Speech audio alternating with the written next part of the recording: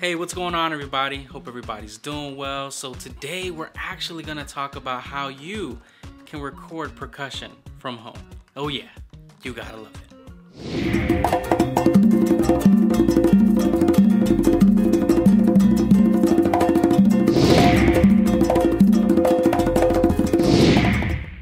Welcome to A Percussion Life, everybody. My name is Eric Perez. So today I actually got the opportunity to record percussion for a country artist by the name of Larry McGrath, and uh, it's kind of a nice tune. I gotta play it for you guys, but I did wanna kind of show you the process that I do to be able to record from the comfort of my home. Of course, I wish I could be in a studio right now, but because of the circumstances, I think this will help a lot of musicians kind of try to, you know, get some work when you're at home, you know, and you could get a little bit of money on the side while working from the comfort of your home. Oh yeah, you gotta love it. But yeah, wanted to go through some tips, things that you're going to need to be able to record from home. It's yeah, you know, it's pretty pretty inexpensive. Could add up if you want to get all crazy with it, but if you just wanted a simple setup, there's a lot of things that you can do that could actually help you start getting started recording from home. Oh yeah, let me walk you through that. So of course, the first thing you're going to need is a percussion instrument. Of course, I have my congas, the song that I'm recording on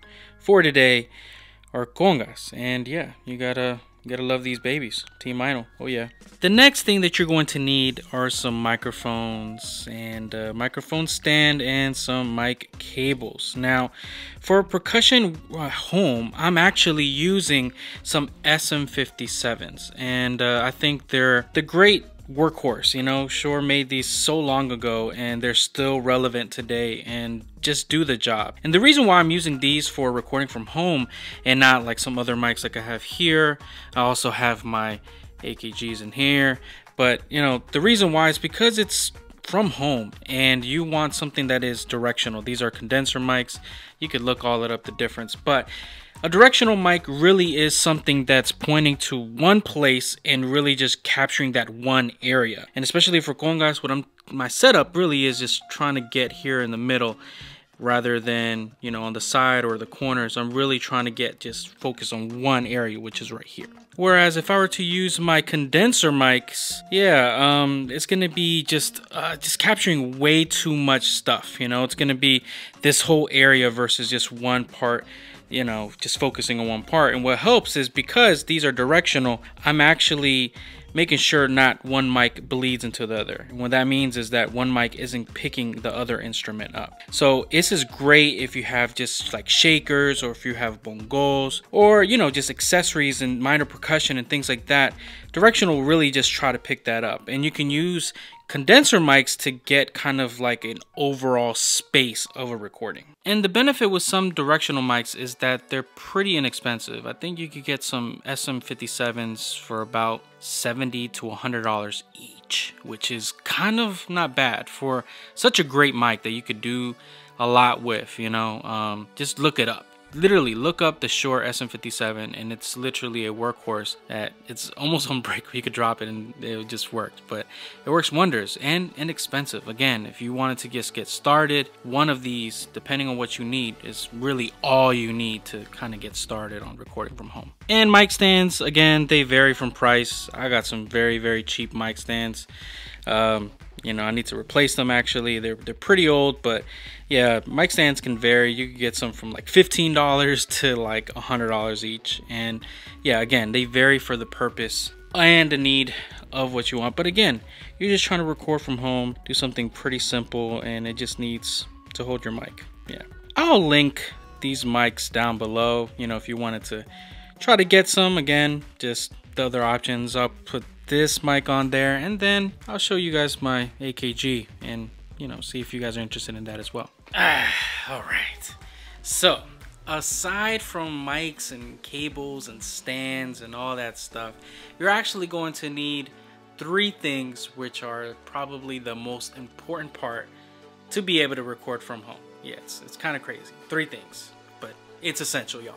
It's essential. So the very first thing is you need a computer. You need a computer. It doesn't have to be a Apple computer, but it has to be a computer that's able to run what is called a DAW or a digital audio workstation. Basically, it's your your main tool that allows you to be able to kind of get this whole thing started and get this whole thing going. If you don't have a computer, uh, there's other things that you're able to do using your phone, um, like iRig and other other tools that you know technology is advanced. But if you really want to get to somewhat a professional type feel when it comes to audio recording from home, you're going to need a computer. So yeah, get a computer if you don't have one. And then you're going to need something called an audio interface. And what this is, this is basically kind of like the bridge that goes from your mic cables to then to your computer. So basically this tool right here is what communicates the audio that's being picked up from your microphones to this device and then to the computer. So basically this is all connected. It's connected via USB. The one I currently use is the Behringer U-Phoria UMC 404 HD USB audio interface. Yes, longest name ever. But really it's an audio interface and I got one that has four channels so I'm able to record four audio inputs all at once. But again you could find one that has just two or or one you know? Really depends on your need and your budget so you have to make sure what you're able to afford and what you're able to get. And remember when choosing an audio interface just make sure you read on the specs and make sure it has good preamps. So this audio interface, the one I'm currently using, actually has Midas preamps. So, you know, it's pretty, you know, pretty good preamps. Again, you can upgrade. There's so many, you know, budget friendly. Like this one at the time that I purchased it was a hundred dollars. Um, I think it, the price I've seen it go up to 180 to 350. So it's kind of crazy for a four channel how much it's increased in value. But yeah, there's some that you can get that are two channels that are about a hundred dollars or one channel that are about like eighty dollars. So it really depends on your need. But again, this is what communicates to your computer. It's what you need in order to be able to get this whole show on the I'll link this audio interface down below in case you guys are interested in this one and other options that I think will be, you know, something that you're able to use from working from home. So like I mentioned earlier, you're going to need something that's called a DAW or a digital audio workstation. Now that is very important and there's so many different options, but but essentially what it is, it's literally the whole interface. It's what you're going to be working on. That's where your audio is going to be recorded to. That's where you're going to be able to edit. That's where you're going to be able to just add a little bit of effect. Literally, that's your whole place. That's where it becomes all digital. That's where all this audio that's coming out of the percussion instruments get to become a digital signal or a digital wave or a digital thing that you could see on the computer so you're gonna be able to see all these crazy waves. And yeah it's it's unbelievable just the the beauty of it to see it all happening while you're recording and then to see it all after and there are many different options. I currently use Logic Pro 10, loving the 10.5 update by the way. And there's a lot of other popular DAWs like Pro Tools or Ableton. There's a lot of free options like Audacity. There's so many things that you can use literally that are free to be able to record from home. It's crazy. You have a Windows computer? Get Audacity, you're able to do it. You know, there's something called Pro Tools First. That's free, you know? It's limited, but hey, it's Pro Tools first and it's free. You could use this and, and actually get things started. Apple has something called GarageBand and you can use that as well. There's so many options out there for you to be able to use these tools to work from home and record percussion from home. You gotta love it. Now the third thing that you're going to need, aside from a computer, aside from an audio interface, and aside from a DAW, and of course, aside from the mics and cables and stands that we talked about earlier and percussion instruments, the thing that you're really going to need are headphones or some sort of monitors. Yes, it's so important. People don't understand that how you're able to hear is just as important on what's being picked up. Because if you can't hear well, guess what? The recording's gonna suck too. That's just the truth. And again, there are so many affordable options. I think Audio Technica makes a headphone monitor set that's for $50 and they sound great. I know I've used them before and they sound great and unbelievable. I personally use some custom in-ear monitors from a company called InEarz. It's kind of kind of crazy. I've been using them since like forever. I think it's been like eight years. I've been using these monitors for eight years and they still work. It's unbelievable. Three drivers, so I got highs, I got mids, and I got lows, and I use them for almost everything. Any live recording, any concerts, just church, any any type of event that requires in-ear monitors, I have those on. And whenever I'm recording from home, guess what? I'm having those on. Those are my workhorses, and I am able to do it. And if I'm work, you know, recording somewhere else, and they have whatever headphones, and hey, I'm gonna use those. But I try to have my in-ear monitors almost everywhere I go. But yeah, you need some form of monitoring. And you can't use speakers because guess what? When you're gonna be playing along with something, the speaker's just gonna pick it up in the mic. So you're gonna need some form of ear monitors to be able to record from home. Now this isn't necessary, this is just an addition if you guys were interested, but if you see all around here in my lower level, I have this acoustic foam paneling and uh, I have it here in almost every corner, but it really helps dampen the sound in this lower level. So these are 24 by 24, two inches thick. So they actually help out uh, with the acoustics and relatively affordable. Um, I forgot how much I paid. I'll link that here, but uh, if you're interested, this is something that's going to help a lot with your just the acoustics of your room and then I have some acoustic panels and these are about four inches thick 24 by 36 I believe. That's the size of those but yeah I, I use that for more for the lower kind of feel but again this is helping out the room. But in these type of recordings I actually want to dampen them even more. So if you have blankets uh, do whatever. Try to fill up the space to not make it as echoey. But lucky for me, I have a lot more of these. And uh, yeah, let me get those out and kind of show you how I set them all around for this specific recording.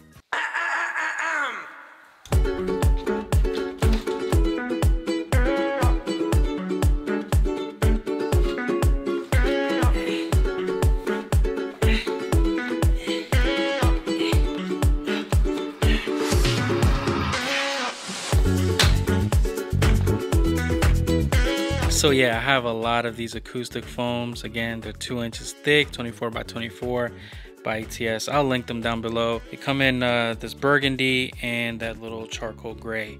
And uh, I had a bunch of these from where I used to live and that's how know, I was able to record from home. But yeah, let me actually place these in a way where it can actually kind of enclose this area to make it just sound a little bit more, you know, a little bit more damp.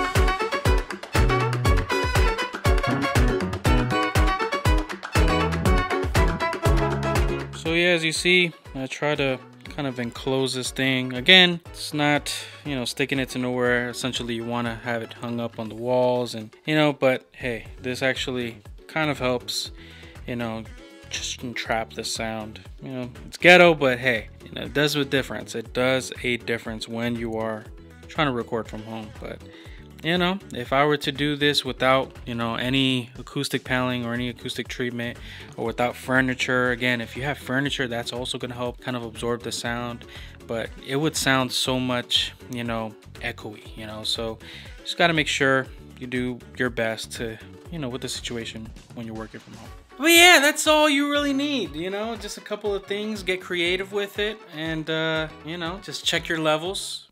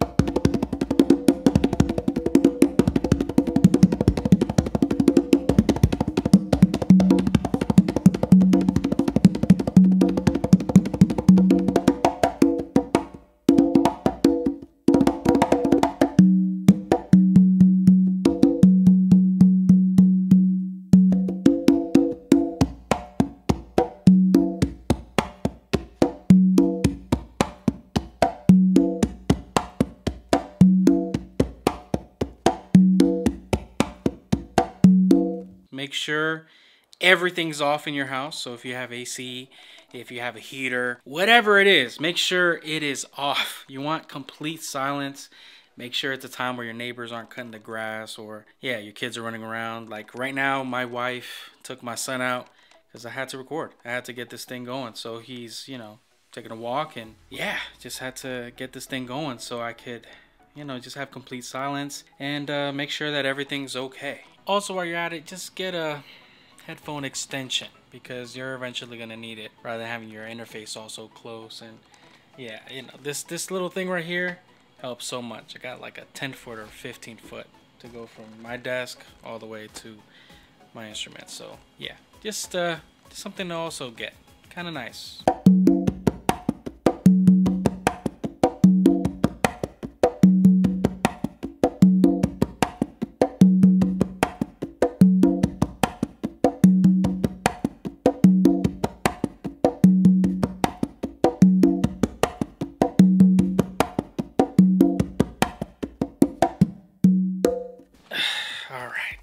So yeah, I really do hope you guys enjoy this video. Just wanted to share just the little tools that I use when I have to record from home. It's I know it's a little bit different, but I do get these kind of questions a lot of the things that I use to record from home, especially for my videos. But you know, the setup when I'm actually recording a song from home is a lot different than what I do for my actual YouTube videos. But yeah, you know, I'm about to take a listen to what I just did and see if I'm good and make sure I'm, I'm right because had to write my stuff down. But uh, yeah, you know, good luck, guys. Hope you guys uh, try this at home. Let me know what you guys think. Let me know if you guys have certain things and little tricks and things that make you be creative when you have to record from home. I know everybody's setup is a lot different, and especially being a percussionist, you know, it's a lot different than, you know, playing guitar and playing bass and tracking piano because, you know, your room kind of helps make the sound of percussion. So I try to make my room yes, kind of open a bit, but at the same time try to